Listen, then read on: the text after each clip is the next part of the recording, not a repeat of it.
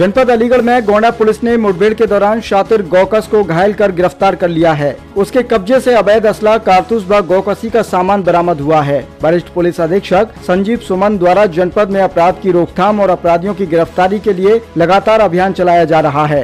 अभियान के क्रम में गोंडा पुलिस की मुठभेड़ हो गई। इस दौरान वांछित अभियुक्त मतीन पुत्र मुन्ना निवासी मोहल्ला काजीपाड़ा थाना टप्पल जनपद अलीगढ़ को किनबासा नहर पुल से अरनिया की तरफ़ खेत थाना गोंडा जनपद अलीगढ़ से गिरफ़्तार किया गया है। पुलिस के मुताबिक रात्रि में किनमासा नहर पुल के पास दौरान चेकिंग, एक संदिग्ध कार को रोकने का प्रयास किया गया। तो अभियुक्त गण कार दूसरे रास्ते ऐसी लेकर फरार हो गया। कार को रोकने का प्रयास किया गया। तो अभियुक्तों द्वारा पुलिस पार्टी के ऊपर जान ऐसी मारने की नियत ऐसी फायर कर दिया गया। पुलिस टीम द्वारा आत्मरक्षार्थ में फायरिंग की गई, जिसमें अभियुक्त तो मतीन को पैर में गोली लगने से वह घायल हो गया, जिसके बाद उसे गिरफ़्तार कर अस्पताल में भर्ती करा दिया गया। अभियुक्त के कब्जे से अवैध असला 315 बोर, नाल में फंसा खोखा, कारतूस और ज़िंदा कारतूस भी बरामद किए गए हैं। साथ ही गौकसी करने के औज़ार भी, छुरी, रस्सी, सिरेंज आदि बरामद की गई है। अभियुक्त को उपचार के लिए जिला अस्पताल भेज दिया गया है। पुलिस टीम आरोप फायरिंग करने के संबंध में अभियुक्त के खिलाफ मुकदमा दर्ज किया गया है। वही अमान पुत्र इस्लाम निवासी खैर जनपद अलीगढ़ नाजिम पुत्र इस्लाम निवासी जनपद अलीगढ़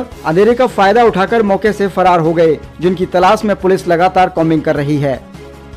मैं क्षेत्राधिकारी विलास अवगत कराना है कि आज दिनांक जुड़ा दो की रात्रि गोंडा की पुलिस टीम द्वारा क्षेत्र में किलमासा नहर पुलिया के पास चेकिंग की जा रही थी, तथा चेकिंग के दौरान एक संदिग्ध कार को रोकने का प्रयास किया गया तो कार दूसरे रास्ते में रोके, भागी तथा आगे जाके अनियंत्रित एक रोड के किनारे खेत में फंसे।